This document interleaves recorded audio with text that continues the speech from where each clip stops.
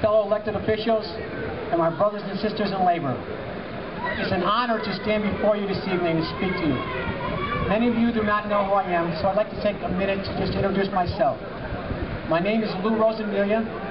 I'm currently serving on the county legislature over in Troy, but I'm also now looking toward becoming the next mayor of Troy.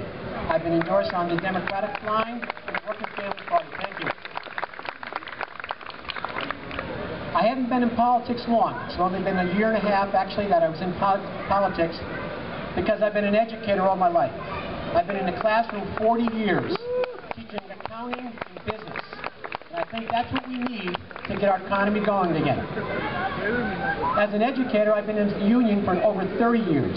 And during my 30 years serving as a union representative, I've been holding many positions.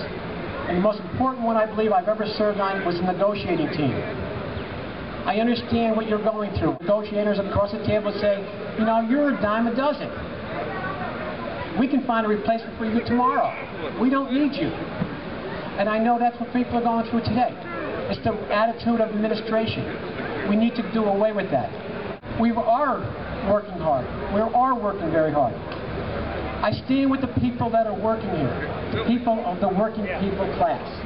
Those of you that are serving our children, we got the Troy Council over here, the association. We thank you very much for what you do for our children in Troy.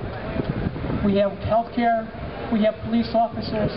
We have people working in all areas of life representing the unions. Well, you know, it's, it's time that we look at what's going on. Now, there's times when it's tough. Yes, we've got to make some sacrifices. But when a company is making billions of dollars on the back of our workers and not sharing that profit with them, something is wrong. We need to draw a line, and we got to draw that line now. So let's be firm, let's be solid on this.